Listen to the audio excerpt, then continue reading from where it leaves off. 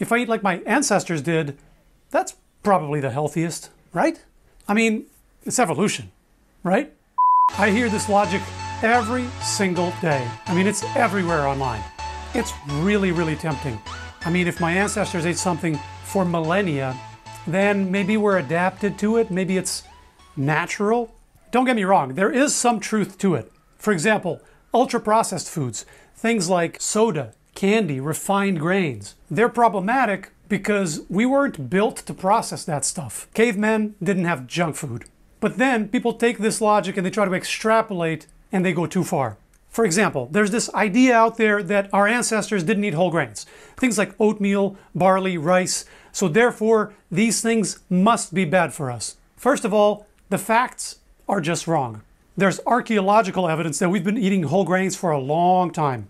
Barley for at least 20,000 years, oats for 30,000, and sorghum, that's another grain, for at least 100,000 years. Now, our species, Homo sapiens, we're about 300,000 years old, give or take.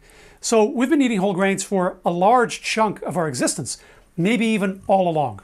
Okay, so our ancestors did eat grains after all. But does that even matter? Not really, no. The health value of a food is not determined by whether cavemen had it.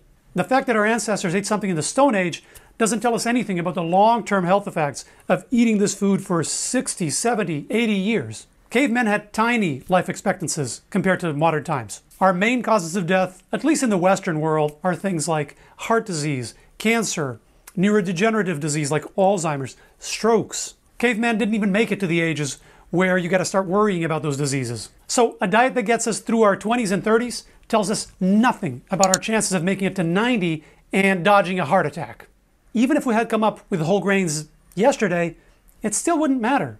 So our ancestors didn't eat whole grains, hypothetically speaking, right? So what? They also didn't take antibiotics when they had an infection.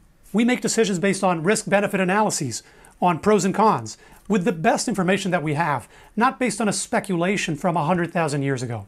Whole grains are consistently linked to lower risks of heart disease, cancer, diabetes, inflammation, and mortality. And according to the massive global burden of disease study, not eating enough whole grains is one of the main causes of disease and death worldwide. So the risk benefit analysis on whole grains is pretty darn clear. The best evidence we have strongly points to eating them. Now, we're talking about whole grains here. We're not talking white bread, white pasta, pizza, candy, pastries.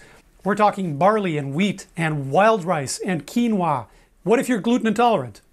Well, then you want to stay away from wheat, barley, and rye, those three. Everything else, up for grabs. Another situation where this caveman fallacy gets misused is cavemen ate a lot of meat, so therefore it must be good for us. It's bad logic for all the reasons we just talked about. Some cavemen ate a lot of meat, some ate very little. It doesn't matter. The modern scientific evidence says we don't need meat. If we really want to eat it, we can have some. It's compatible with health. Ideally, go easy on the amounts, eat it here and there, not as a staple, not as a pillar of the diet. Ideally, we want to try to get most of our calories, including protein, from whole plants, regardless of what the Flintstones did. Bottom line, decide based on your preference, what you like to eat, or decide based on evidence, whatever floats your boat.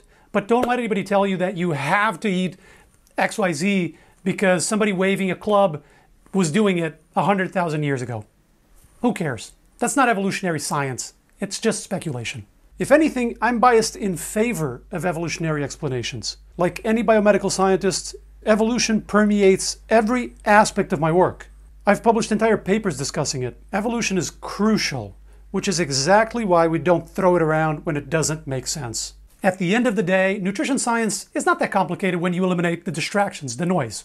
I don't make these videos to tell people what they can and cannot eat. I'm not a guru and I never want to be one. There's plenty of advice like that out there. Here's the list of foods you can have, and here's the list that's off limits. That's not me. What I think is really interesting and important is that we learn to reason for ourselves on this topic so we don't fall prey to bad advice and bad logic and end up hurting ourselves.